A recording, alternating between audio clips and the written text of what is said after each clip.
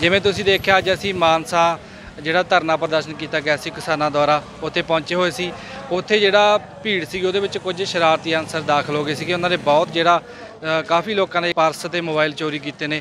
ਉਸ ਤੋਂ ਬਾਅਦ ਉਹਨਾਂ ਤੇ ਜਿਹੜੀ ਪੁਲਿਸ ਕਾਰਵਾਈ ਕਰ ਰਹੀ ਹੈ ਤੇ ਇੱਥੇ ਲੋਕ ਜਿਨ੍ਹਾਂ ਦੇ ਮੋਬਾਈਲ ਚੋਰੀ ਹੋਏ ਆ, ਇੱਥੇ ਥਾਣੇ ਦੇ ਬਾਹਰ ਪਹੁੰਚੇ ਹੋਏ ਨੇ ਤੇ ਇਹਨਾਂ ਨਾਲ ਗੱਲਬਾਤ ਕਰਕੇ ਦੇਖਦੇ ਹਾਂ ਕਿ ਕੀ ਹੈ ਪੂਰਾ ਮਾਮਲਾ। ਕੀ ਗੱਲਬਾਤ ਹੋਈ ਹੈ ਇੱਥੇ? ਕੀ ਸਰ ਇੱਥੇ ਜੀ ਐ ਸੀ ਸਿੱਧੂ ਮੂਸੇ ਵਾਲੇ ਮਗਰ ਜੀ ਧਰਨੇ ਤੇ ਗਏ ਸੀਗੇ ਜੀ ਉੱਥੇ ਮੁੰਡੇ। ਉੱਥੇ ਸ਼ਰਾਰਤੀ ਅਨਸਰਾਂ ਨੇ ਮੁੰਡਿਆਂ ਦੇ ਮੋਬਾਈਲ ਕੱਢ ਲਏ ਜੀ। 10 12 ਮੋਬਾਈਲ ਨਿਕਲੇ ਨੇ ਤਾਂ ਕਰਕੇ ਥਾਣੇ 'ਚ ਰਾਪਟ ਲਿਖਾਉਣ ਆਏ ਆ ਜੀ। ਬੰਦਾ ਮਿਲ ਗਿਆ ਜਿਹਨੇ ਕੱਢੀ? ਹਾਂਜੀ ਬੰਦਾ ਮਿਲ ਗਿਆ ਜੀ। ਉਹ ਉੱਥੇ ਸਦਰ ਥਾਣੇ 'ਚ ਉਹਨਾਂ ਨੇ ਰੱਖ ਰੱਖਿਆ ਜੀ ਉਰੇ ਭੇਜਦੇ ਨੇ ਉਹਨੂੰ। ਜਿਹੜਾ ਚੋਰੀ ਦਾ ਸਮਾਨ ਸੀਗਾ ਜਿਵੇਂ ਪਰਸ ਤੁਸੀਂ ਕਹਿੰਦੇ ਮੋਬਾਈਲ ਚੋਰੀ ਹੋਇਆ ਉਹ ਮਿਲ ਗਏ? ਨਹੀਂ ਹਲੇ ਸਾਨੂੰ ਤਾਂ ਨਹੀਂ ਮਿਲੇ ਜੀ ਉਹ ਦੇਖੋ ਪੁੱਛਦਾ ਕਰਨਗੇ ਉਹ ਤੋਂ ਬੰਦੇ ਤੋਂ ਜੀ ਫੇਰ ਦੇਣਗੇ।